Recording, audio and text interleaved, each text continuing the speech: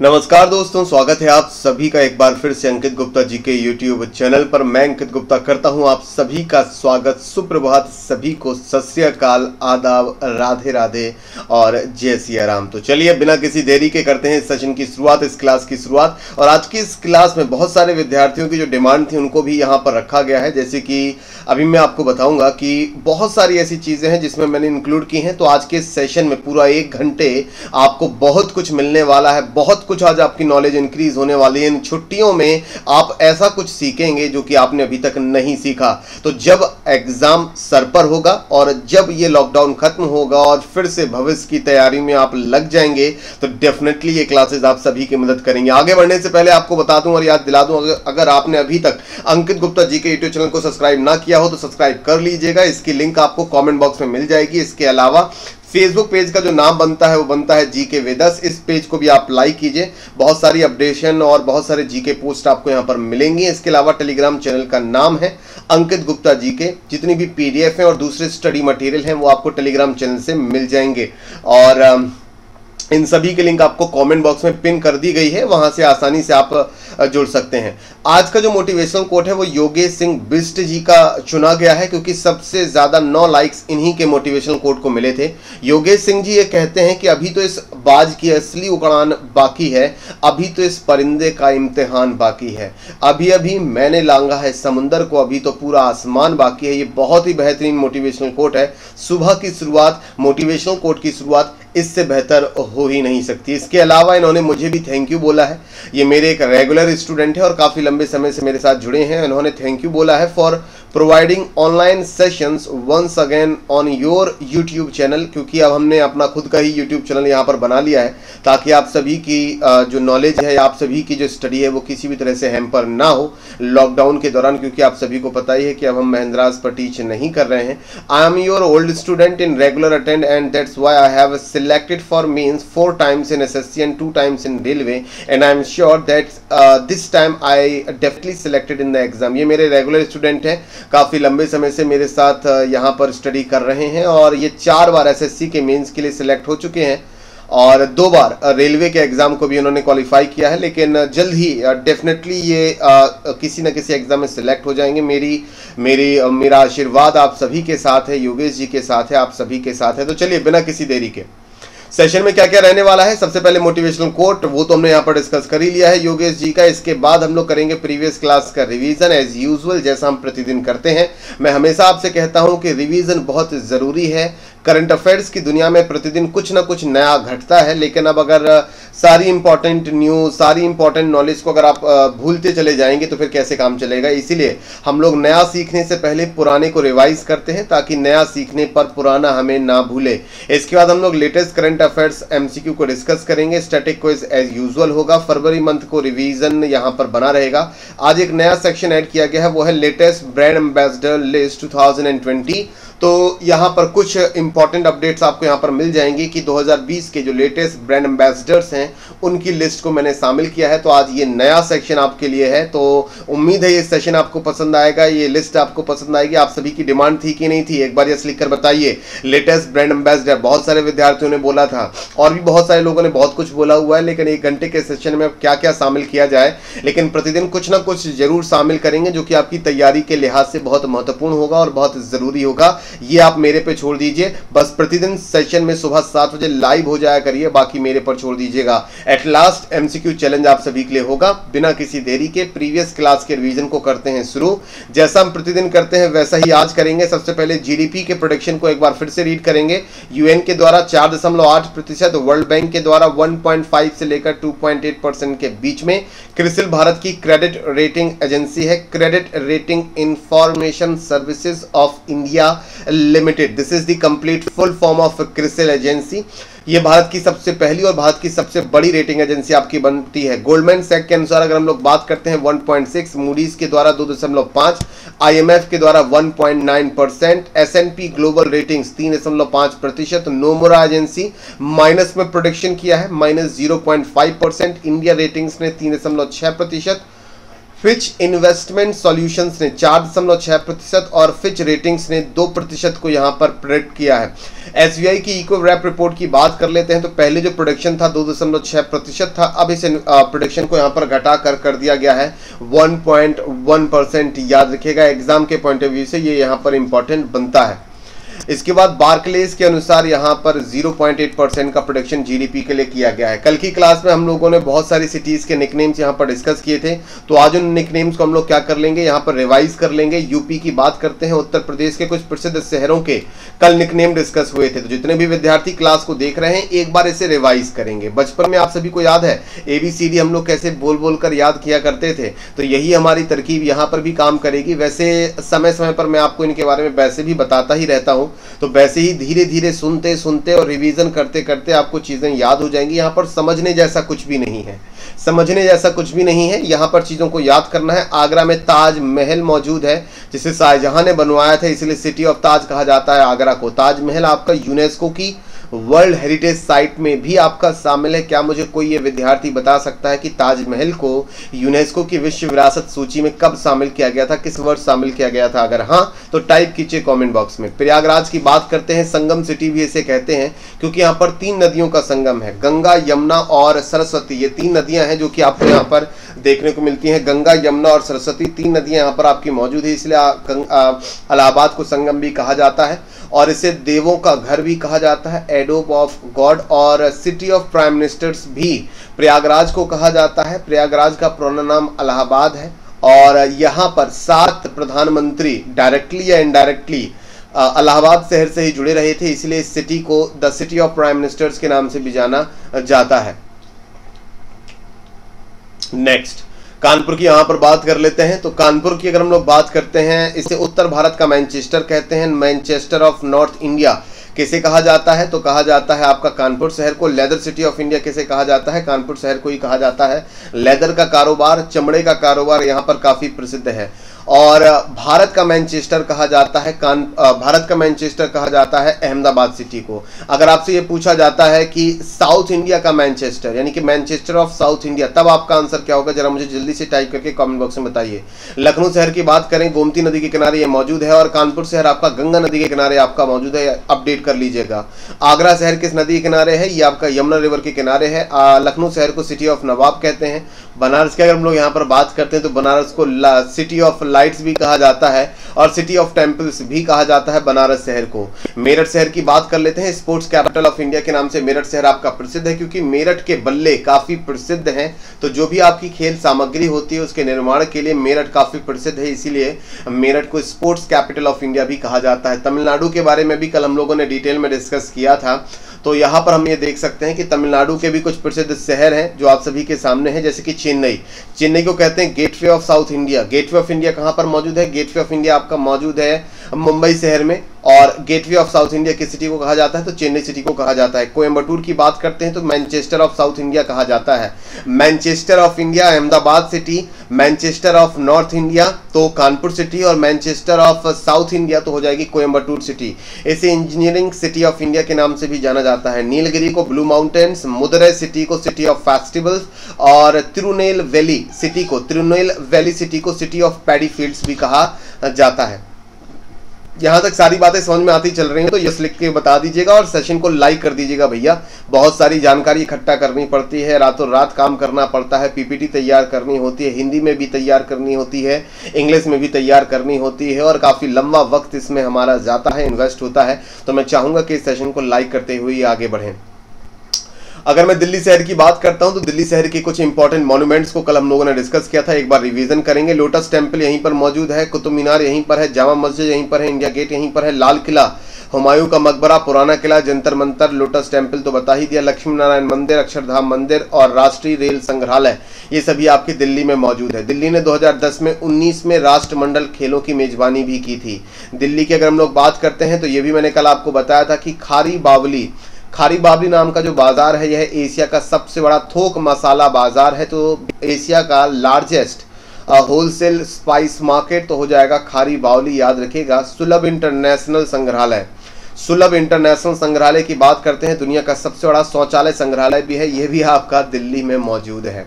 कल हम लोगों ने एक ट्रिक डिस्कस की थी, एक बार रिवाइज कर लेते हैं, ताकि आप लोग भूल ना जाएँ, और ट्रिक को याद रखें यहाँ पर। तो ट्रिक क्या थी कि तमिलनाडु के प्रसिद्ध लोक नृत्यों को हम लोग कैसे याद करेंगे? तो मैंने इसके लिए आपको ट्रिक कल बताई थी। तो याद रखने वाली ट्रिक को एक बार फिर से रिवाइज करेंगे। पहले तो मैं आपसे यह ट्रिक बोलता था कि तुम मिले भरत तो तमिलनाडु भरतनाट्यम। लेकिन अब मैंने इसमें दो और इंपॉर्टेंट डांस फॉर्म इसमें जोड़ दिए हैं, लोक नृत्य जोड़ दिए हैं। तो अब आपको याद करना है कि भरत तुम पुलकित और कुमकुम से मिलो। भरत जाओ और पुलकित और कुमकुम से मिलो। भरत जाओ और तुम पुलकिल पुलकित और कुमकुम से मिलो। तो भरत, तुम पुलकित और कुमकुम से मिलो। अगर आप ये लाइन याद रखते हैं तो याद रखिएगा, भरत से याद रखिएगा भरतनाट्यम, तुम से याद रखना है तमिलनाडु। भरत से भरतनाट्यम, तुम से याद रखना है तमिलनाडु स्टेट। पुलकित से याद रखेंगे पुल्ली अट्टम और कुमकुम से याद रखेंगे कुमी। ठीक है ना? चलो। ठीक है रिवीजन हो गया सर आगे बढ़ते हैं और सीधा बढ़ चलते हैं, सीधा आपके एमसीक्यू रिवीजन की तरफ़ कि कौन कौन से एमसीक्यूज को हमें यहाँ पर रिवाइज करना है। गृह मंत्रालय ने एक एडवाइजरी जारी की है, एक नोटिस जारी किया है, जिसके तहत उन्होंने किस ऐप को एक असुरक्षित ऐप बताया है। Ministry of Finance Ministry of Home Affairs issued an advisory calling which app as unsafe तो मैंने आपको कल ये बताया था कि इस ऐप के यूज़र्स का डेटा एक एक रुपए में डार्क वेब पर बिक रहा है, इसलिए यहाँ पर होम अफेयर्स ने एक एडवाइजरी जारी की थी। इस ऐप का नाम है जूम ऐप। क्या है इस ऐप का नाम? Zoom app. नेक्स्ट क्वेश्चन कौन सा ऐप मात्र तेरह दिनों में दुनिया का सबसे अधिक डाउनलोड किए जाने वाला ऐप बन गया है? Which app has become the highest downloaded app in just thirteen days सही जवाब बनेगा आरोग्य सेतु। ये तीसरी बार प्रश्न यहाँ पर डिस्कस हो रहा है, लेकिन मेरा दावा है कि अब ये प्रश्न आपको नहीं भूलेगा। अगर एग्ज़ाम में आता है तो डेफिनेटली आप इसका आंसर कर पाएँगे। पंद्रह अप्रैल को किस ईयर में टाइटेनिक उत्तरी अटलांटिक महासागर में ये जो जहाज़ है, वो डूब गया था? Titanic sank into North Atlantic Ocean on April 15 in which year option आपके सामने है। 1912 में टाइटेनिक जहाज़ डूबा था। टाइटेनिक जहाज़ की इमेज आपके सामने है। टाइटेनिक जहाज़ की बात करें तो टाइटेनिक जहाज़ अपनी पहली यात्रा पर साउथ हैम्पटन इंग्लैंड से निकला था अमेरिका के न्यूयॉर्क सिटी के लिए। आप यहाँ पर देख सकते हैं कि इंग्लैंड के साउथ हैम्पटन से ये निकला था। और इसे पहुँचना था अमेरिका के न्यूयॉर्क सिटी में, लेकिन आप ये जगह जो यहाँ पर देख रहे हैं, जहाँ पर टाइटेनिक जहाज़ आपका डूबा है, वो जगह आप सभी के सामने आपको यहाँ पर नज़र आ रही होगी और यहाँ पर जाकर ये जो जहाज़ है वो आपका डूब गया था। तो टाइटेनिक इंग्लैंड से न्यूयॉर्क अमेरिका की यात्रा पर था 1912 में। याद रखिएगा 15 अप्रैल का दिन था जब दुनिया का उस समय का सबसे बड़ा जहाज़ डूब गया था।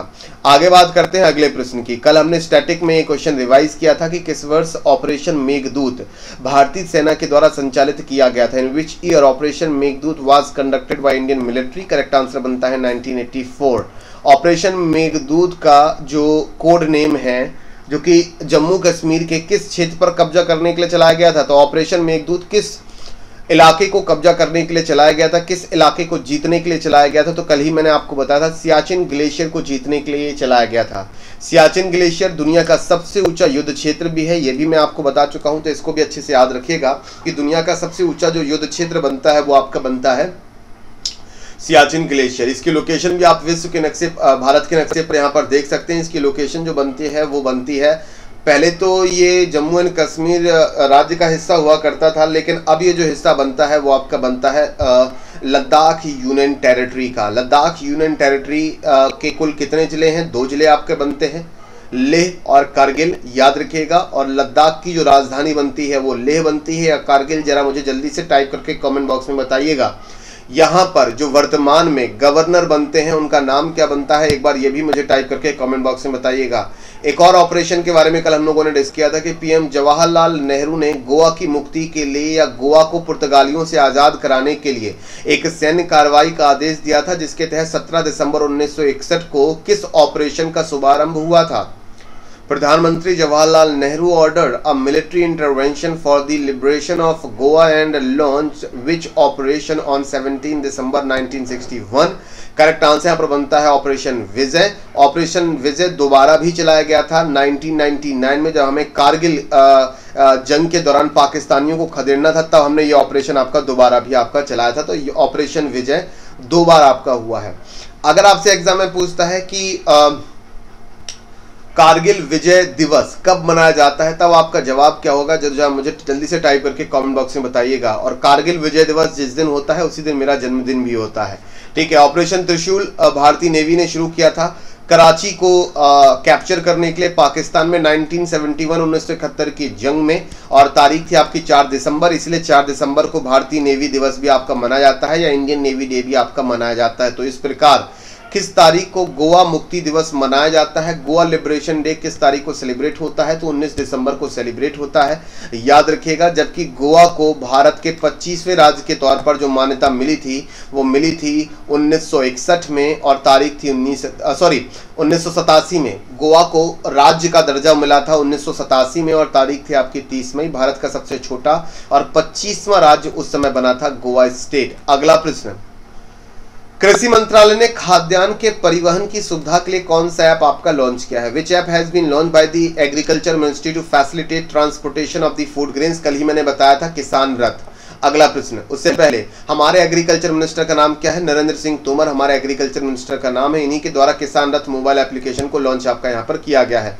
अगला प्रश्न, कल की क्लास से कि दिल्ली सरकार कोविड 19 वायरस से लड़ने के लिए किस नए एप्लीकेशन को लॉन्च किया है? Delhi government has launch which new application to fight COVID 19 virus? Correct answer बनता है एस एस करोना अगला प्रश्न, भारतीय वर्ल्ड वाइल्ड लाइफ फंड के राजदूत के रूप में किसे नियुक्त किया गया है? Has been appointed as the ambassador for the World Wild Life Fund India correct answer बनता है भारत के grand master, chess grand master Viswanathan Anand.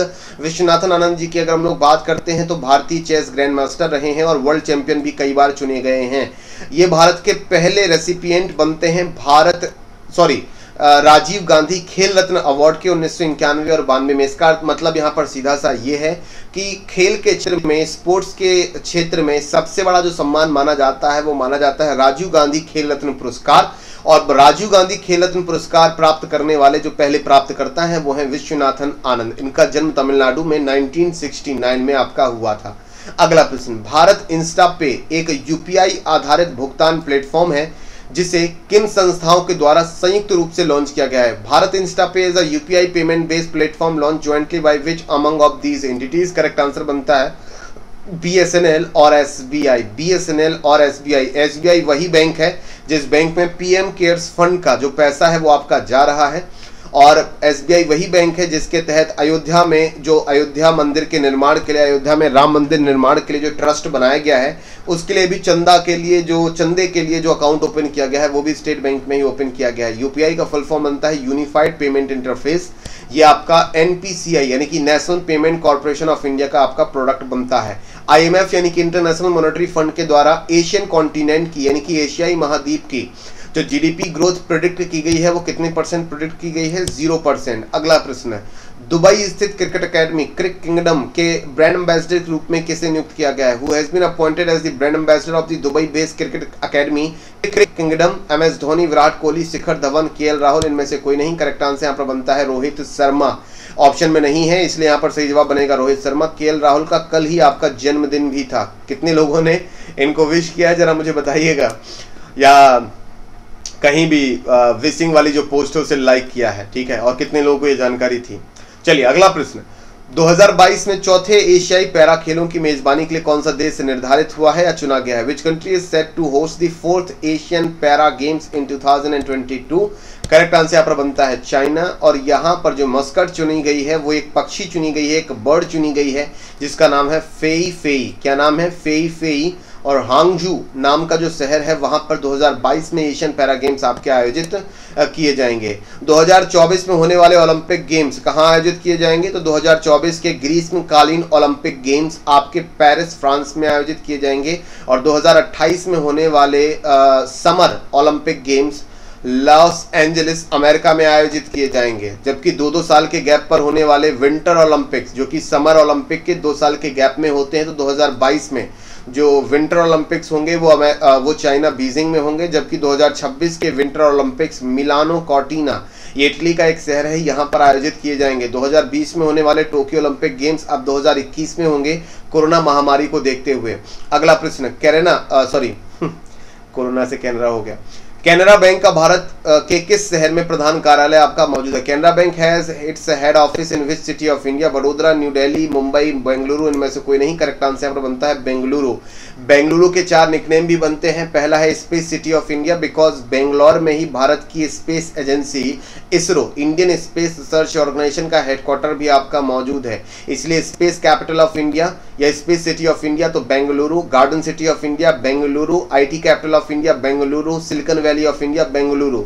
Mumbai शहर की बात करते हैं तो इसे सात टापुओं का शहर कहते हैं। न्यू दिल्ली में आपका पंजाब नेशनल बैंक और पंजाब एंड सिंध बैंक का हेडक्वार्टर आपका मौजूद है। मुंबई में किन किन बैंकों का हेडक्वार्टर मौजूद है? तो State Bank of India, Union Bank of India, Central Bank of India, Bank of India, Reserve Bank of India, IDBI Bank इसके अलावा सेबी नाम के ऑर्गेनाइजेशन का हेडक्वार्टर भी आपका यहीं बनता है एल का हेडक्वार्टर भी यहीं पर मौजूद है एक्सिस बैंक का हेडक्वार्टर भी यहीं पर मौजूद है यस बैंक का हेडक्वार्टर भी यहीं पर मौजूद है नाबार्ड का हेडक्वार्टर भी आपका मुंबई में ही मौजूद है। वडोदरा की बात करते हैं तो बैंक ऑफ़ बड़ौदा बड़ौदा बड़ौदा वडोदरा बड़ौदा वडोदरा वडोदरा बड़ौदा एक एक से लगते हैं, बिल्कुल सेम सेम से लगते हैं। तो बड़ौदा से वडोदरा को याद कर लीजिएगा, आसानी से याद हो जाएगा। बैंक ऑफ़ बड़ौदा की स्थापना अठारह सौ नौ में हुई थी, पंजाब नेशनल बैंक की स्थापना अठारह में हुई थी। मुंबई में जितने भी बैंक है, वो मैंने आपको यहाँ पर बता ही दिए हैं। अगला प्रश्न, जिम कॉर्बेट नेशनल पार्क किस राज्य में स्थित है? ऑप्शन आप सभी के सामने है, सही जवाब बनता है उत्तराखंड। उत्तराखंड में Jim Corbett National Park Bharat का पहला नेशनल पार्क था, जिसे स्थापित किया गया था। 1936 में और तब इसका नाम दिया गया था Hailey National Park. Himachal Pradesh का राज्य पशु क्या बनता है? स्नो लेपर्ड हिमाचल प्रदेश का राज्य पशु बनता है और स्नो लेपर्ड यानी कि हिम तेंदुआ अफ़गानिस्तान का राष्ट्रीय पशु भी आपका बनता है। भारत में हेमिस नेशनल पार्क, जो कि भारत का लार्जेस्ट नेशनल पार्क है, जो कि आपका लद्दाख यूनियन टेरिटरी में मौजूद है, वहाँ पर आप स्नो लेपर्ड को काफ़ी बड़ी संख्या में देख सकते हैं। जबकि ऊँट की बात करते हैं, कैमल की बात करते हैं तो ये राजस्थान का राजकीय पशु है। कैमल के साथ साथ, ऊँट के साथ साथ, वहाँ पर चिंकारा भी राजकीय पशु आपका बनता है। एशियाटिक लाइन की बात करते हैं, एशियाई शेर, ये गुजरात का राजकीय पशु है और गिर नेशनल पार्क में बहुत ज़्यादा देखा जा सकता है। एशियन एलिफेंट की बात करते हैं, केरल और झारखंड राज्य का जो स्टेट एनिमल बनता है, वो बनता है आपका एशियन एलिफेंट। नेक्स्ट क्वेश्चन, मत्स्य पालन किस क्रांति से संबंधित है? यानी कि pisciculture is related to which of the following revolution option आप सभी के सामने है green revolution red revolution black revolution blue revolution इनमें से कोई नहीं। सही जवाब यहाँ पर बनता है ब्लू रेवोल्यूशन ब्लैक रेवोल्यूशन आपका किससे जुड़ा हुआ है? पेट्रोलियम प्रोडक्शन से आपका जुड़ा हुआ है। ग्रीन रेवोल्यूशन आपका किससे जुड़ा हुआ है? फ़ूड प्रोडक्शन या फ़ूड ग्रेन्स के प्रोडक्शन से आपका जुड़ा हुआ है। उन्नीस और सड़सठ में। एम एस स्वामीनाथन की लीडरशिप में, जिन्हें भारत में ग्रीन रेवोल्यूशन का जनक कहा जाता है, उनकी लीडरशिप में ग्रीन रेवोल्यूशन को शुरू किया गया था और मैक्सिको कंट्री से हम हम लोगों ने एच वाई वी सीड्स मंगाए थे एच वाई वी सीड्स मंगाए थे, यानी कि हाई यील्डिंग वेराइटी सीड्स यानी कि उच्च गुणवत्ता, उच्च क्वालिटी वाले सीड्स हम लोगों ने मंगाए थे। इन सीडों को उगाने के लिए कम पानी की आवश्यकता होती थी और इनमें रोग भी कम लगता था। दुनिया में हरित क्रांति के जनक बनते हैं नॉर्मन बारलोग, नाम याद रखेगा इन्हें आगे चलकर विश्व शांति का नोबल भी दिया गया था। अगला प्रश्न, ग्रीनफील्ड इंटरनेशनल स्टेडियम किस राज्य में स्थित है? तो ये तिरुवनंतपुरम में ये इंटरनेशनल स्टेडियम इस शहर में आपका मौजूद है। बोहाग, बिहू, भारत के किस राज्य के लोगों के द्वारा व्यापक रूप से मनाया जाने वाला त्यौहार है? तो असम राज्य का एक व्यापक रूप से मनाया जाने वाला त्यौहार है। अगर मैं बिहू की बात करता हूँ तो साल में तीन बार बिहू फेस्टिवल अलग अलग समय में जब फ़सल की कटाई होती है, तब आपका ये फेस्टिवल आपका मनाया जाता है। तो जब इसे अप्रैल के आसपास के महीने में मनाया जाता है तो इसे हम लोग कहते हैं बोहाग बिहू या रोंगाली बिहू। इसके अलावा अक्टूबर के महीने में जब ये बिहू मनाया जाता है तो उसे कति बिहू कहते हैं, यानी कि कोंगाली बिहू। और जनवरी के महीने में माघ बिहू कहते हैं, यानी कि भोगाली बिहू, याद रखिएगा। असम राज्य के भी जितने भी इंपॉर्टेंट आपके लोक नृत्य बनते हैं, उनको याद रखने की ट्रिक मैंने कल भी आपको बताई थी। आज मैं केवल इस ट्रिक को आपको रिवाइज यहाँ पर कराऊँगा। असम की बहू, ये मैं पहले भी बता चुका हूँ, असम बिहू तो असम की बहू और बेगम रंभा भोरताल गई। बहुत आसानी सी, छोटी सी लाइन यहाँ पर बनती है। याद करने के लिए कि असम की बहू और बेगम रंभा भोरताल गई तो असम की बहू बहू से बिहू, और बेगम रंभा से याद रखना है Bagurumba option number second, बेगम रंभा, बागू रुम्बा भोरताल गई तो भोरताल नाम का लोक नृत्य भी आपका असम में होता है। आगे बात करते हैं तो ये कल की आपकी न्यूज़ है। मैंने कल की न्यूज़ में आपको बताया था कि इंडिया, अमेरिका और इसराइल साथ मिलकर यहाँ पर कोरोना वायरस की वैक्सीन बनाने पर काम कर रहे हैं और उसी की जो इन्फॉर्मेशन है वो शेयर कर रहे हैं। इसके अलावा मालगाड़ी है, जिसका नाम है अन्नपूर्णा। इसने 50 घंटे से भी कम समय में 1634 किलोमीटर की दूरी तय करके इतिहास रच दिया है, क्योंकि इतने कम समय में किसी भी मालगाड़ी ने इतनी लंबी दूरी तय नहीं की थी। अगर स्वास्थ्य मंत्रालय की हम बात माने तो भारत के 325 जिलों में कोई भी कोरोना वायरस का मामला नहीं है। राजस्थान राज्य ने ये दावा किया है कि उनका राज्य रैपिड परीक्षण करने वाला देश का पहला राज्य है। बहुत तेज़ी से परीक्षण करने वाला भारत का पहला राज्य है और यूनाइटेड किंगडम यानी कि ब्रिटेन ने सात मई तक लॉकडाउन का विस्तार कर दिया है। हमारे देश ने तीन मई तक लॉकडाउन का विस्तार कर लिया है। पूल परीक्षण शुरू करने वाला उत्तर प्रदेश का पहला भारत का पहला राज्य उत्तर प्रदेश बन गया है। कोरोना वायरस के नमूनों को यहाँ पर क्या किया जाएगा कि 30 नमूनों का यहाँ पर पूल बनाया जाएगा और उन 30 नमूनों के जो नमूने होंगे वो एक साथ ले लिए जाएँगे और फिर उस पर्टिकुलर एक आ, नमूने का परीक्षण किया जाएगा अगर उस नमूने में यहाँ पर कोरोना मिलता है या कोरोना वायरस पॉजिटिव मिलता है तभी जाकर बाकी के तीस जो नमूने उनको टेस्ट किया जाएगा अगर नहीं मिलता है तो इसका सीधा सा अर्थ हो गया कि इन तीसों के तीसों कोरोना वायरस के सैंपल्स में कोई भी कोरोना पॉजिटिव मामला नहीं है तो पूल परीक्षण करने वाला उत्तर प्रदेश, भारत का पहला राज्य यहाँ पर बन चुका है। तो यहाँ तक रिवीजन सेशन काफ़ी लंबा था आई नो लेकिन रिवीजन उतना ही ज़रूरी है जितना नई इन्फॉर्मेशन पढ़ना, क्योंकि नई इन्फॉर्मेशन के साथ साथ पुरानी इन्फॉर्मेशन को याद रखना ही आपको करंट अफेयर्स और जनरल अवेयरनेस में सफलता दिला सकता है। कितने लोग मेरी इस बात से सहमत हैं? यस लिखकर बताइए। यहाँ तक सारी बातें समझ में आई हो यस लिखकर बताइए। और सेशन को लाइक कर दीजिए। अगर अभी तक लाइक ना किया हो, कंजूसी की कोई गुंजाइश नहीं है। मैं आपके पास हर वो इन्फॉर्मेशन लेकर आ रहा हूँ, जो मैं आप तक लेकर आ सकता हूँ। जितना भी मेरे पास समय है, जितने भी मेरे पास रिसोर्स इतना भी मेरे पास टाइम मिलता है, मैं आपके लिए सारी इन्फॉर्मेशन यहाँ पर प्रिपेयर करता हूँ तो लाइक कर दीजिएगा। अब फ्रेश एमसीक्यूज आप सभी के सामने है तो बिल्कुल रेडी हो जाइए इनका आंसर करने के लिए। पहला क्वेश्चन आप सभी के सामने ये रहा कि किस एयरलाइन ने अपने यात्रियों के लिए दुनिया का पहला कोविड 19 रक्त परीक्षण शुरू किया है, जो कि 10 मिनट में परिणाम देता है? Which airlines launch the world first COVID 19 blood test for its passenger which gives the result in 10 minutes तो दुनिया की पहली एयरलाइंस है जो कि जो यात्री होंगे वो जैसे ही अगर इस विमान में चढ़ना चाहते हैं तो आधे घंटे वहाँ पहले पहुँच जाएँगे। उनका पहले क्या होगा? टेस्टिंग होगी। दस मिनट में उनका आ, पर, आ, जो परिणाम है या रिज़ल्ट है वो निकल कर आ जाएगा। जो लोग पॉजिटिव होंगे उनको नहीं चढ़ने दिया जाएगा। जो लोग नहीं होंगे उनको आसानी से चढ़ने दिया जाएगा। तो 10 मिनट के अंदर कोरोना वायरस का यहाँ पर पता लगा सकता है। तो दुनिया का पहला फ़र्स्ट कोविड 19 ब्लड टेस्ट किस एयरलाइंस ने लॉन्च किया है जो कि 10 मिनट में परिणाम देता है? तो अमीरात अमीरात एयरलाइन। आपने यूनाइटेड अरब अमीरात का नाम सुना होगा तो ये अरब अमीरात की ही ये एयरलाइन है, याद रखना है। वहाँ की एक गवर्नमेंट एयरलाइन से और गवर्नमेंट वहाँ की सब्सिडरी एक एयरलाइंस ये बनती है। तो यूनाइटेड अरब अमीरात की जो एयरलाइन बनती है, एमीरात, उनके द्वारा इसे यूज़ लॉन्च किया गया है। अगला प्रश्न। भारत की अमूर्त सांस्कृतिक विरासत की राष्ट्रीय सूची का शुभारंभ किसने किया है? Who launch National List of Intangible Cultural Heritage of India, Thawarchand Gehlot, जो कि हमारे सामाजिक न्याय और अधिकारिता मंत्री हैं, सोशल जस्टिस मिनिस्टर हैं। सेकंड ऑप्शन है रमेश पोखरियाल निशंक, जो कि हमारे एचआरडी मिनिस्टर हैं। इसके अलावा हैं अर्जुन मुंडा जी, जो कि हमारे जो जनजाति मामलों का मंत्रालय है ट्राइबल अफेयर्स मिनिस्ट्री है, उसको देखते हैं। या प्रहलाद सिंह पटेल जी, जो कि हमारी कल्चरल मिनिस्ट्री देखते हैं, या फिर सांस्कृतिक मंत्रालय देखते हैं। तो यहाँ पर एक शब्द यूज़ हुआ है कल्चरल यानी कि सांस्कृतिक विरासत की राष्ट्रीय सूची, जो कि अमूर्त है। अमूर्त या इंटेंजिबल ऐसी असिट्स को कहा जाता है, ऐसी चीज़ों को कहा जाता है, जिनको हम छू नहीं सकते या हम लोग देख नहीं सकते। जैसे कि प्रसन्नता चार मई को लॉकडाउन खत्म हो जाएगा, आपकी प्रसन्नता बिल्कुल सातवें आसमान पर होगी, लेकिन क्या आपकी प्रसन्नता आपकी खुशी को यहाँ पर देखा जा सकता है, उसे छुआ जा सकता है? नहीं। उसे केवल फील किया जा सकता है तो ये इंटेंजिबल हुई। तो इंटेंजिबल कल्चरल हेरिटेज की जो लिस्ट है, हाल ही में जारी की है किसने? हमारे संस्कृति मिनिस्टर यानी कि कल्चरल मिनिस्टर प्रहलाद सिंह पटेल जी ने। अब भारत में टोटल कितने आपके कल्चरल हेरिटेज एलिमेंट्स बनते हैं, याद रखिएगा, भारत में total thirteen cultural heritage elements बनते हैं इंडिया से और इनको यूनेस्को की लिस्ट में भी शामिल किया गया है। यूनेस्को का फुल फॉर्म बनता है United Nation Educational, Scientific and Cultural Organisation. जैसा इसका नाम है, वैसा ही इसका काम है कि पूरी दुनिया में हेरिटेज और जो विरासत है, उसको संभालने का जिम्मा इस पर्टिकुलर ऑर्गेनाइजेशन का है। इसका हेडक्वार्टर कहाँ पर बनता है, जरा मुझे टाइप करके कॉमेंट बॉक्स में बताइएगा। तो तेरह जो इनटेंजिबल कल्चरल हेरिटेज हैं, जिन्हें हम छू नहीं सकते, केवल फील कर सकते हैं।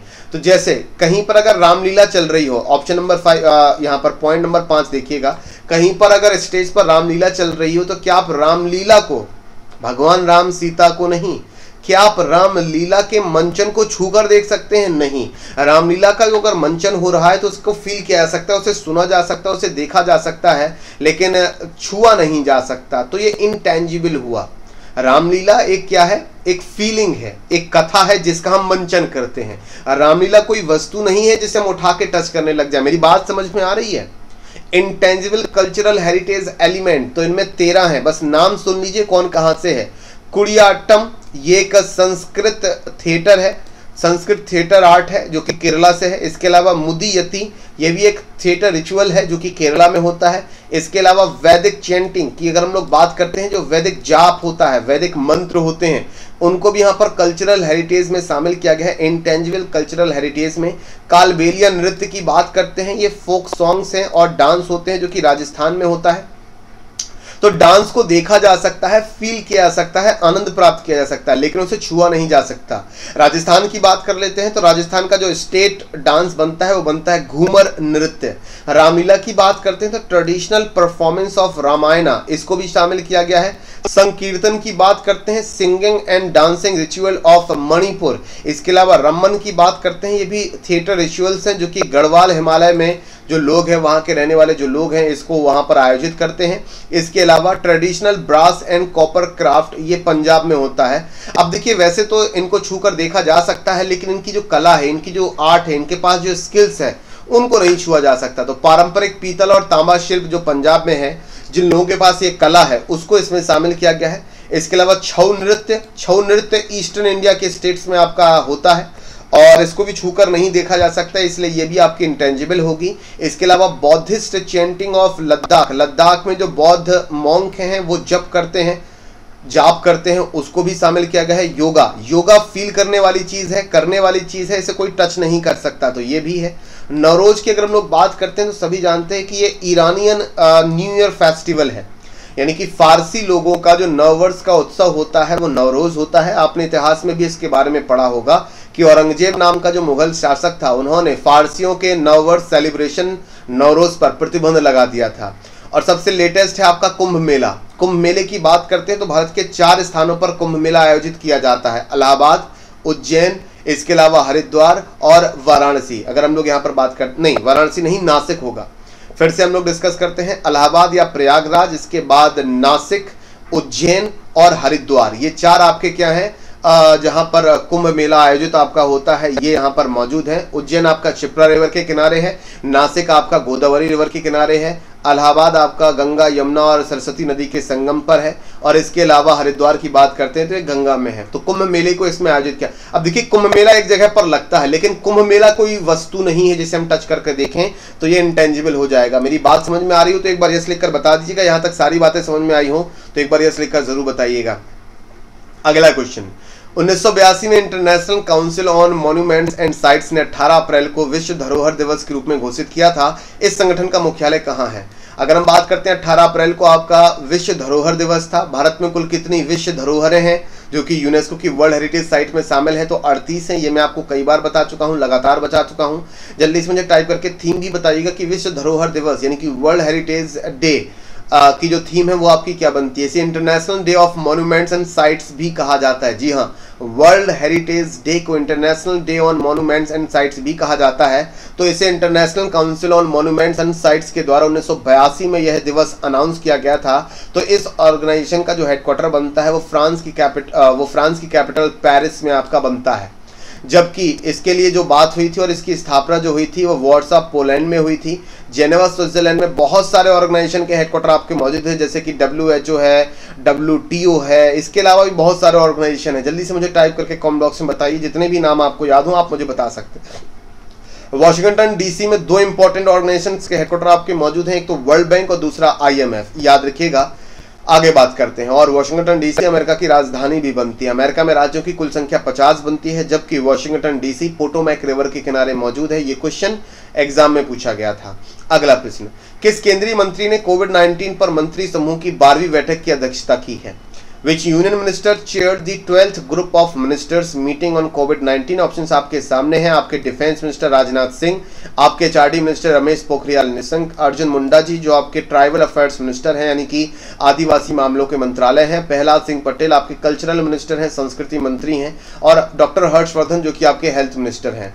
अगर हम कोविड 19 की बात करें तो यह एक रोग है, एक महामारी है और इस महामारी को दूर करने के लिए हेल्थ मिनिस्टर को ही यहाँ पर आना होगा, क्योंकि वही इन सारे मुद्दों पर बात कर सकते हैं तो इन्होंने ही इसकी अध्यक्षता की थी।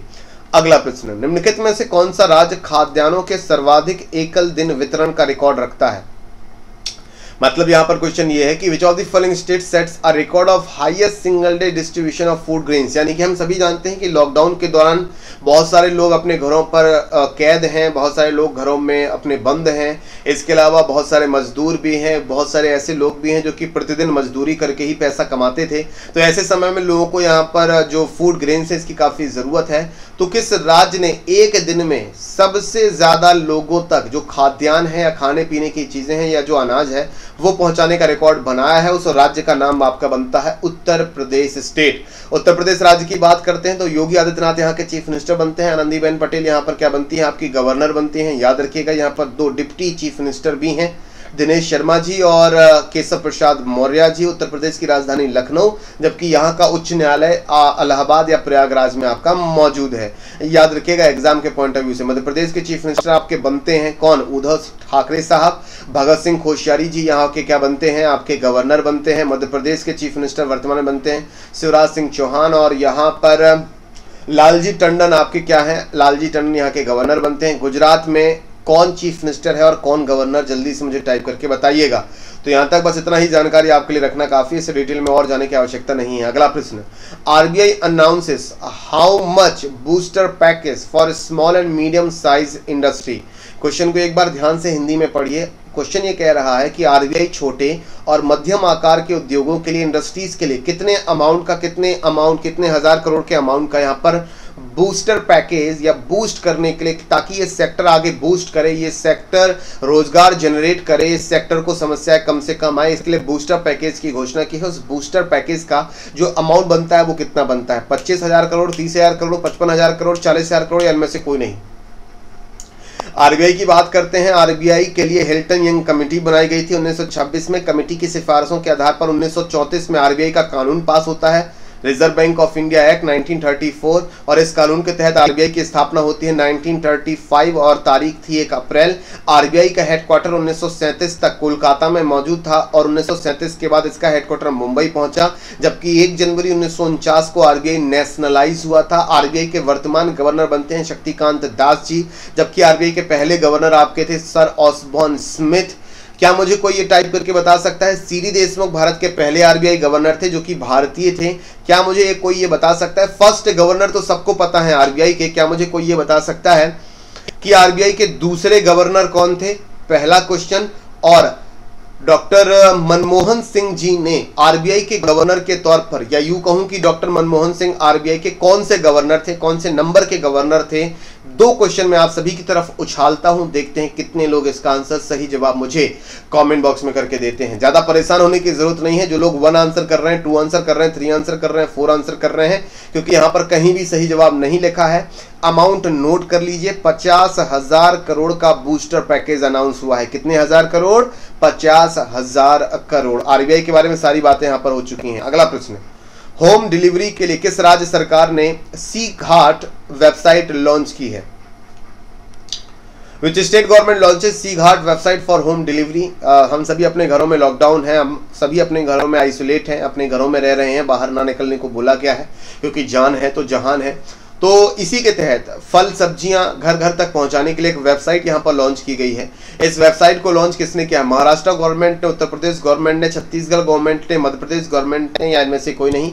सही जवाब यहाँ पर बनता है, छत्तीसगढ़ गवर्नमेंट ने सी घाट नाम की वेबसाइट लॉन्च की है ताकि होम डिलीवरी चलती रहे और लोगों तक, घरों पर जो ज़रूरी सामान है वो आपका पहुँचता रहे। अब हम लोग छत्तीसगढ़ को यहाँ पर थोड़ा सा डिटेल में देखने वाले हैं तो उम्मीद है आपको यहाँ पर सारी बातें समझ में आएँगी।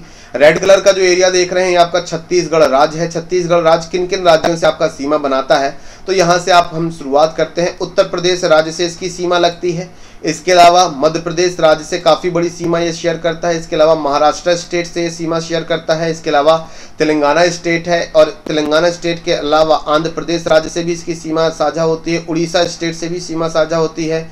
झारखंड राज्य से भी सीमा साझा होती है, लेकिन बिहार से यहाँ पर कोई भी सीमा साझा नहीं होती छत्तीसगढ़ की। छत्तीसगढ़ राज्य के तौर पर 1 नवंबर सन 2000 को अस्तित्व में आया। इसके अलावा रायपुर, यहाँ पर राजधानी बनती है, नया रायपुर भी है, और वहाँ पर स्वामी विवेकानंद इंटरनेशनल एयरपोर्ट भी आपका मौजूद है। यहाँ पर डिस्ट्रिक्ट्स की संख्या, जिलों की संख्या 27 है। गवर्नर यहाँ की बनती है अनुसुईया उइके। अनुसुईया उइके, भारत के कुल छः राज्यों में फीमेल महिला गवर्नर है, याद रखिएगा। भूपेश बघेल जी यहाँ के चीफ मिनिस्टर बनते हैं, लोकसभा की 11 सीटें हैं, राज्यसभा की पाँच सीटें यहाँ पर बनती हैं। अगर हम यहाँ पर बात करते हैं राजकीय पशु की स्टेट एनिमल की तो वाइल्ड बफेलो, जो राजकीय पक्षी है, वो है हिल मैना, और राजकीय वृक्ष है, साल नाम का वृक्ष याद रखिएगा। यहाँ पर कुछ प्रसिद्ध नेशनल पार्क है, जिनकी लिस्ट आपको यहाँ पर मैं दे रहा हूँ, जिससे आप लोग थोड़ा सा इनको रिवीजन कर सकते हैं और इसको नोट कर सकते हैं। Achanakmar wildlife sanctuary Achanakmar wildlife sanctuary यहीं पर मौजूद है। इंद्रावती नेशनल पार्क यहीं पर मौजूद है। कांगेर घाटी नेशनल पार्क यहीं पर मौजूद है। गुरु घासीदास संजय नेशनल पार्क। एक और संजय नेशनल पार्क भी है भारत में। अगर आप मुझे बता सकते तो टाइप करके बताइए कि दूसरा संजय नेशनल पार्क भारत के किस राज्य में मौजूद है। इसके अलावा बर्नवा पारा वन्यजीव अभ्यारण बर्ना पारा वन्यजीव अभ्यारण भी आपका यहीं पर मौजूद है। कुछ प्रमुख हैं। सब रटने की ज़रूरत नहीं होती, लेकिन हाँ कुछ ज़रूरी है, उनको यहाँ पर याद रखना काफ़ी रहेगा आप सभी के लिए। यहाँ पर आप एक तस्वीर देख रहे हैं। ये तस्वीर है आर बी भुसकुटे की। ये तस्वीर है आर वी भुस्कटे जी की। इनका हाल ही में निधन हो गया है। तो ये एक महान पर्वतारोही थे, स्वतंत्रता सेनानी थे सितार वादक थे, पत्रकार थे, इनमें से कोई नहीं। आर बी भुस्कुटे जी का हाल ही में निधन हुआ है। He was pass recently he was a great freedom fighter mountaineer sitar player और जर्नलिस्ट या none of these correct answer बनता है freedom fighter India quit movement या क्विट इंडिया मूवमेंट भारत छोड़ो आंदोलन 1942 में शुरू हुआ था गांधी जी के आह्वान पर। और भारत छोड़ो आंदोलन में भी इन्होंने बढ़ चढ़कर हिस्सा लिया था। महान स्वतंत्रता सेनानी थे, हाल ही में इनका निधन हो गया। बस नाम इनका याद रखिएगा। अगला प्रश्न करंट अफेयर्स से फ्रेश एमसीक्यू है। आप सभी के लिए नया एमसीक्यू है। बिल्कुल लेटेस्ट इन्फॉर्मेशन है। आजकल हम कोई भी इन्फॉर्मेशन देखते हैं जो कि हेल्थ से जुड़ी है कोविड नाइन्टीन से जुड़ी है, किसी पर्टिकुलर रिसर्च से जुड़ी है तो वहाँ पर हम लोग कई बार आईसीएमआर यानी कि Indian council of medical research का नाम कई बार देखते हैं। इसका full form Indian council of medical research यानी कि भारतीय आयुर्विज्ञान अनुसंधान परिषद है। ये वैक्सीन बनाने और कोरोना वायरस से लड़ने के लिए सरकार को यहाँ पर एडवाइस देने के लिए स्थापित मतलब कि ये समय काम कर रहा है, स्थापित इसके लिए नहीं हुआ था। रिसर्च वगैरह के लिए स्थापित हुआ था। सरकार को एडवाइस करने के लिए स्थापित हुआ था। इसकी स्थापना कब हुई थी? ये नई दिल्ली में मौजूद है, ये भी नोट कर लीजिए नई दिल्ली में मौजूद है और इसकी स्थापना 1911 में हुई थी। कब हुई थी? 1911 में इसकी स्थापना हुई थी। अगला प्रश्न। विश्व वाणी दिवस विश्व स्तर पर कब मनाया जाता है? When is the world voice day celebrated globally option आप सभी के सामने यहाँ पर बनते हैं। 16 अप्रैल 18 अप्रैल 15 अप्रैल 17 अप्रैल वर्ल्ड वॉइस डे आपका मनाया जाता है 16 अप्रैल के दिन। और 16 अप्रैल को और कौन सा इंपॉर्टेंट डे मनाया जाता है? वर्ल्ड वाइज डे इसके अलावा एक अप्रैल को इंपॉर्टेंट डे उत्कल दिवस या उड़ीसा दिवस। सात अप्रैल को वर्ल्ड हेल्थ डे पाँच अप्रैल को नेशनल मैरीटाइम डे राष्ट्रीय समुद्री दिवस और वर्ल्ड मैरीटाइम डे यानी कि विश्व समुद्री दिवस 24 सितंबर। 9 अप्रैल को सीआरपीएफ शौर्य दिवस 10 अप्रैल को वर्ल्ड होम्योपैथी डे 13 अप्रैल को जलियावाला बाग, नरसंहार की बरसी होती है। जलियावाला बाग, नरसंहार 1919 में हुआ था, अमृतसर, पंजाब में। वर्ल्ड हेरिटेज डे अट्ठारह अप्रैल, कल ही आपका हुआ है। कितनी साइट्स हैं? अड़तीस साइट्स हैं। उम्मीद है दोस्तों और या साथियों, यहाँ तक सारा सेशन आपको पसंद आया होगा तो एक बार यस लिखकर मुझे बता दीजिएगा। और देखो, मेरे इस एफर्ट के लिए एक बार लाइक ज़रूर कर देना। बहुत सारे स्टूडेंट ने बोला था कि कुछ लेटेस्ट इंडेक्स की रिपोर्ट ले आइए सर तो अभी क्या है कि इस सेशन में ज़्यादा कुछ तो नहीं, लेकिन मैंने लेटेस्ट जितने भी ब्रांड एम्बेसडर्स की लिस्ट है अपडेटेड लिस्ट है, वो मैं आपके लिए लेकर आया हूँ। इसको हम लोग आज डिस्कस करेंगे। ठीक है? और भी जो दूसरी इंपॉर्टेंट इन्फॉर्मेशन है, उनको भी हम लोग समय समय पर ऐड करते रहेंगे अलग अलग सेशंस में तो आपको कहीं नहीं जाना है। ये सेशन एक कंप्लीट सेशन है, चाहे आपके जीएस के पॉइंट ऑफ़ व्यू से आप देखें जीके के पॉइंट ऑफ़ व्यू से देखें, और जीए के पॉइंट ऑफ़ व्यू से देखें। इस पर्टिकुलर क्लास में आपकी जनरल अवेयरनेस ही नहीं, बल्कि आपकी जीके पर भी पूरा ध्यान दिया जाता है, जो कि जनरल अवेयरनेस के लिए ज़रूरी बनती है। तो कंप्लीट नॉलेज और एक 360 डिग्री जो नॉलेज है, वो आपको इस सेशन से मिलेगी। कितने लोग इस बात से सहमत है, मुझे यस लिखकर ज़रूर बताएँ। सबसे पहले बात कर लेते लेते हैं आईडीएफसी फ़र्स्ट बैंक की। आईडीएफसी फ़र्स्ट बैंक के ब्रांड एम्बेसडर जो हैं, वर्तमान में वो अमिताभ बच्चन जी हैं बिग बी अमिताभ बच्चन जी। इनका संबंध इलाहाबाद शहर से ही है। और प्रसिद्ध जो आपके इनके पिताजी का जो नाम था, हरिवंश राय बच्चन जी, इनके पिताजी थे, एक फ़ेमस राइटर रहे हैं। प्यूमा कंपनी की बात करते हैं, ये मैंने आपसे डिस्कस भी किया था कि इसकी जो ब्रांड एम्बेसडर है, वो करीना कपूर खान है। रियलमी जो स्मार्टफ़ोन है, जो कि चाइनीज़ स्मार्टफ़ोन है चाइनीज़ नाम आते ही दिमाग में एक अलग तरह की खलबली मच जाती है। तो रियलमी स्मार्टफ़ोन के ब्रांड एम्बेसडर वर्तमान में कौन है? सलमान खान यहाँ पर बनते हैं। टाटा पावर्स की बात करते हैं तो टाटा पावर्स ने जो आपके क्रिकेटर हैं, नाम है शार्दुल ठाकुर। उनको एज अ ब्रांड एम्बेसडर नियुक्त किया हुआ है हाल ही में। टोक्यो ओलंपिक गेम्स की बात कर लेते हैं तो 2020 में आपके टोक्यो ओलंपिक गेम्स होने वाले थे, लेकिन कोरोना महामारी को देखते हुए अब टोक्यो ओलंपिक गेम्स 2021 में होंगे तो Indian Olympic sorry international Olympic association के द्वारा, इंटरनेशनल ओलंपिक एसोसिएशन के द्वारा भारतीय टीम के गुडविल अम्बेसडर के तौर पर सौरभ गांगुली को इन्वाइट किया गया है तो ये भी इंपॉर्टेंट यहाँ पर रखिएगा इंपॉर्टेंट बनेगा। भारतीय क्रिकेट टीम के पूर्व कप्तान रहे हैं। दादा दादा के नाम से विख्यात हैं और इनको प्रिंस ऑफ़ कोलकाता भी कहा जाता है। चलिए वॉशिंगटन एप्पल्स ये एप्पल्स का एक ब्रांड है। वॉशिंगटन एप्पल्स के ब्रांड एम्बेसडर के तौर पर दिशा पटानी, जो कि एक्ट्रेस हैं, और इसके अलावा फ़ेमस शेफ संजीव कपूर को यहाँ पर ब्रांड एम्बेसडर के तौर पर नियुक्त किया गया है। आगे इस लिस्ट में और बात करते हैं तो नाडा का नाम आप सभी ने सुना होगा, यानी कि नेशनल एंटी डोपिंग एजेंसी उसके जो ब्रांड एम्बेसडर हैं वो है सुनील सेट्टी ये एजेंसी क्या काम करती है? जो आपके डोपिंग वाले चार्जेस होते हैं उनका यहाँ पर पता लगाती है। इस एजेंसी का मुख्य काम यही है कि भारतीय खिलाड़ी किसी भी तरह से जो प्रतिबंधित दवाएँ हैं जो उनकी शक्ति बढ़ा सकती हैं खेल के मैदान में उनको दूसरों से बेहतर कराने के लिए मदद कर सकती हैं या बेहतर यहाँ पर उनको एनर्जी दे सकती हैं तो एंटी डोपिंग एजेंसी है। यानी कि ऐसी चीज़ों पर रोक लगाने के लिए जाँच कराने के लिए और खिलाड़ियों को आ, इस दायरे में रखने के लिए नाडा की स्थापना आपकी की गई थी। तो नाडा के ब्रांड एम्बेसडर सुनील सेट्टी साहब हैं, जो कि एक जाने माने एक्टर आपके रह चुके हैं और हैं भी वर्तमान में। रीबॉक शूज़ की बात करते हैं। रीबॉक ब्रांड के जो ब्रांड एम्बेसडर हैं वर्तमान में वो कैटरीना कैफ हैं। इससे पहले विराट कोहली हुआ करते थे। इसके अलावा और बेरेस्किन की बात करते हैं। ये एक ब्रांड है। कपड़ों का एक ब्रांड है। और फ़ैशन डिज़ाइनिंग एक ब्रांड है, जिसमें बहुत सारी चीज़ें आपकी आती हैं। अलग अलग तरह के कपड़े हैं और दूसरे जो आपके प्रोडक्ट्स हैं ग्रूमिंग प्रोडक्ट्स हैं, वो आपकी बनाती है। इसके लिए हरभजन सिंह जाने माने भारतीय क्रिकेट टीम के गेंदबाज रहे स्पिनर रहे हैं। इनको ब्रांड एम्बेसडर यहाँ पर नियुक्त किया है।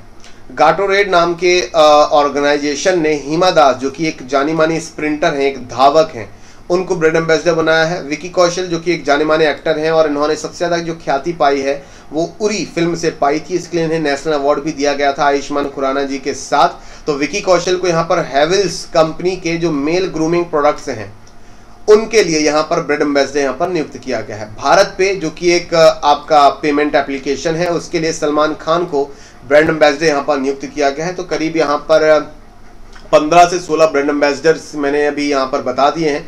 इसके अलावा भी कुछ अपडेशन अभी बाकी है, उसको भी मैं वहाँ पर प्रिपेयर कर रहा हूँ। तो कल भी कुछ इंपॉर्टेंट ब्रांड एम्बेसडर को हम लोग यहाँ पर डिस्कस करेंगे।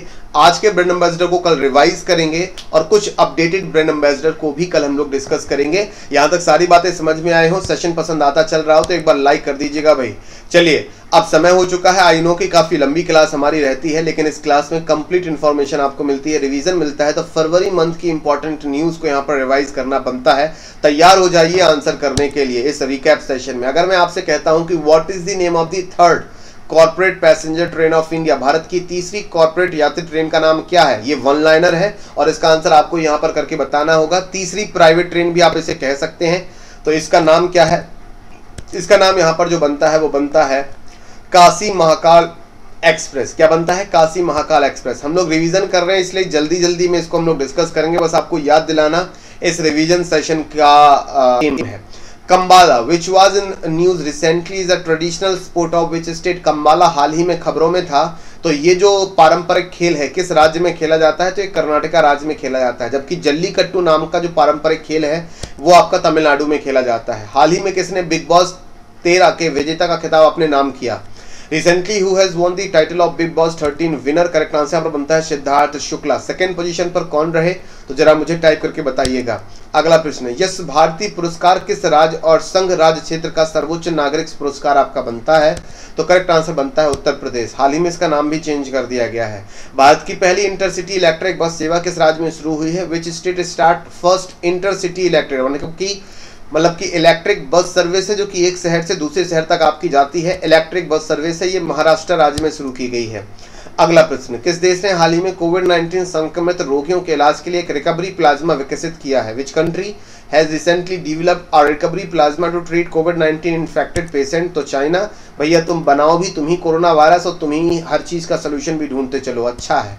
अगला प्रश्न आरबीआई जल्द ही अपना वित्तीय वर्ष क्या अपनाने वाला है? What is RBI going to adopt in its financial year soon correct answer बनता है अप्रैल से लेकर मार्च, यानी कि एक अप्रैल से लेकर इकतीस मार्च, ये फाइनेंशियल ईयर आरबीआई अपनाने वाला है। क्या आप मुझे बता सकते हैं कि वर्तमान में आरबीआई का फाइनेंशियल ईयर आपका क्या चल रहा है?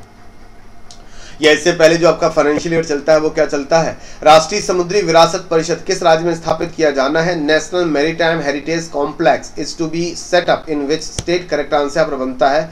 इनमें से कोई नहीं, क्योंकि करेक्ट आंसर यहाँ पर जो बनेगा, वो आपका जो बनने वाला है, राज्य की अगर हम लोग बात करते हैं यहाँ पर आई थिंक ये आपका न्यू दिल्ली बनेगा। आई थिंक मैं इसका आंसर यहाँ पर स्किप कर चुका हूँ, मेरे दिमाग से स्किप हो रहा है। एक बार आप लोग मुझे कमेंट बॉक्स में लिखकर बताइएगा, अगर नहीं है तो इसके बाद कमेंट बॉक्स में आप लोग टाइप करके मुझे इसका आंसर बता दीजिएगा। अच्छा यहाँ पर हमारे पास एक्सप्लेनेशन है। तो अब बिल्कुल इसको यहाँ पर स्थापित करने की जो बात यहाँ पर की गई है, वो गुजरात में की गई है। अपडेट कर लीजिए, मुझे दिमाग में आ नहीं रहा था। तो भारत और पुर्तगाल दोनों ने एक एमओयू साइन किया है मेमोरेंडम ऑफ़ अंडरस्टैंडिंग साइन किया है, जिसके तहत गुजरात के लोथल नाम की जगह पर एक नेशनल मैरीटाइम हेरिटेज कॉम्प्लेक्स आपका विकसित किया जाएगा। इसके अलावा दोनों कंट्रीज़ के बीच में चौदह दूसरे एग्रीमेंट्स भी आपके हुए थे। याद रखिएगा। अगला प्रश्न, भारत में अनुसंधान जहाजों का निर्माण करने वाली पहली और एकमात्र निजी फर्म कौन सी है? Which is the first and only private firm to build research ship in India तो टीटागढ़ वैगन वैगन्स लिमिटेड, ये इकलौती ऐसी प्राइवेट फर्म है जो कि भारत में जो रिसर्च वाले जहाज़ होते हैं, रिसर्च रिसर्च होते हैं, उनका निर्माण ये करती है। याद रखिएगा, टीटन वैगन्स लिमिटेड, ये चेन्नई में स्थित national institute of open technology के लिए दूसरा तटीय अनुसंधान पोत्र, पोत सागर अन्वेषिका इसने शुरू किया है और इस, जल्द ही इसको ये सौंप भी देगी। इससे पहले इन्होंने सागर तारा नाम का एक रिसर्च शिप इन्होंने बनाया था। हाल ही में किस देश ने भारत के विकासशील देश के टैग को हटा दिया है तो अमेरिका ने भारत को विशाल, विकासशील यानी कि डेवलपिंग कंट्री के टैग से वहाँ पर हटा दिया है। भारत और विश्व बैंक ने अटल भूजल योजना के लिए कितने ऋण समझौते पर हस्ताक्षर किए थे? यानी कि वर्ल्ड बैंक भारत को कितने अमाउंट का कितने मिलियन यूएस डॉलर के यहाँ पर लोन देगा अटल भूजल योजना के तहत तो इसमें से भी कोई भी अमाउंट जो है वो सही नहीं है, क्योंकि करेक्ट आंसर जो इसका बनता है, वो बनता है 450 मिलियन यूएस डॉलर का करार हुआ है भारत सरकार के बीच में और वर्ल्ड बैंक के बीच में अटल भूजल योजना के लिए। याद रखिएगा, इस प्रोजेक्ट को वर्ल्ड बैंक आपका सपोर्ट कर रहा है, जिसके तहत national ground water management improvement programme आपका चलाया जाएगा। जिसके तहत उत्तर प्रदेश, मध्य प्रदेश, राजस्थान, गुजरात, महाराष्ट्र, कर्नाटका और हरियाणा राज्यों में जो अंडरग्राउंड वाटर लेवल है, उसे बढ़ाने पर प्रयास किया जाएगा। इसके अलावा इस प्रोग्राम को अड़तीस अलग अलग जिलों में चलाया जाएगा। इस योजना को लागू कराने का जो जिम्मा है, वो मिनिस्ट्री ऑफ़ जल शक्ति का है। और गजेंद्र सिंह शेखावत जी हमारे जल शक्ति मिनिस्टर बनते हैं और यह केंद्र सरकार के द्वारा स्पॉन्सर्ड स्कीम यहाँ पर बनेगी। अगला प्रश्न, भारतीय नौसेना प्रमुख एडमिरल करमवीर सिंह को 17 और 20 फरवरी 2020 के बीच में किस देश का इन्होंने दौरा किया था?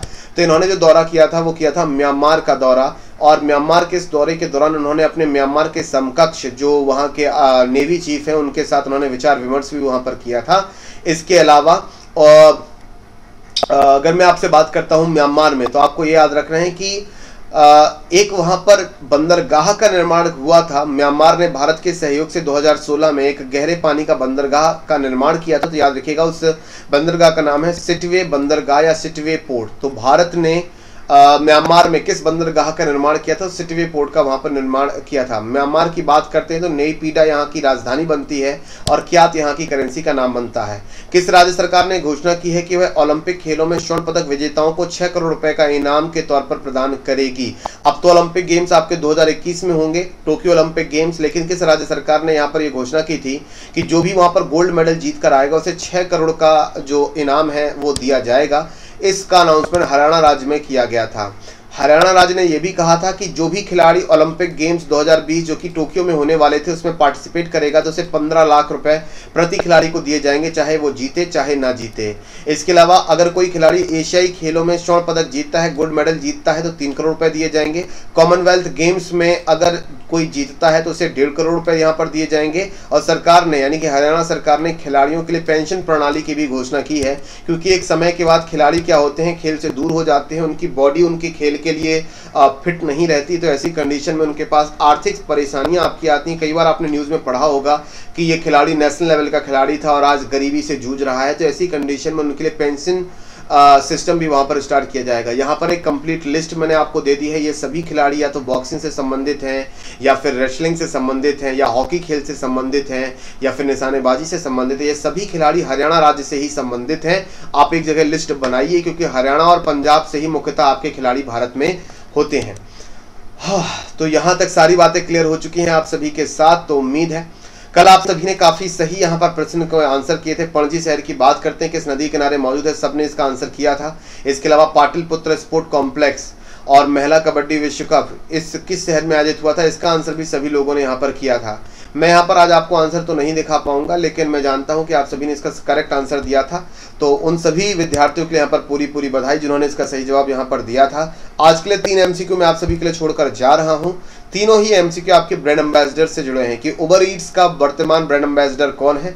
एस बी आई यूनो के ब्रांड एम्बेसडर कौन है? और हिमालय मेंस जो एक प्रोडक्ट बनाती ये कंपनी है, इसके ब्रांड एम्बेसडर कौन है? इनके आंसर आपको मुझे कमेंट बॉक्स में करने हैं तो इनका आंसर मैं आपको कल दिखाऊँगा। आज समय की कमी के चलते इस सेशन को हम लोग यहीं पर वाइंड अप करने वाले हैं। जाते जाते याद दिला दूँ और बता दूँ कि अंकित गुप्ता यू जी के यूट्यूब चैनल को सब्सक्राइब कीजिए। नोटिफिकेशन बेल को ऑन कीजिए ऑल पर सिलेक्ट कीजिए, ताकि सभी वीडियोस की नोटिफिकेशन आपको मिले। फेसबुक पेज का नाम है जीके वेदस इसको लाइक कीजिए। टेलीग्राम चैनल का नाम है अंकित गुप्ता जी के सभी की जो लिंक है, आपको कॉमेंट बॉक्स में मिल जाएगी। और लिंक पर क्लिक करके भी आप हमारे साथ जुड़ सकते हैं। तो आज के लिए इस वीडियो में इतना ही। मिलते हैं कल सुबह सात बजे एक बार फिर से current affairs with by Ankit Gupta ji के। धन्यवाद आप सभी का इस वीडियो को देखने के लिए और अपना बहुमूल्य समय हमें देने के लिए। Thank you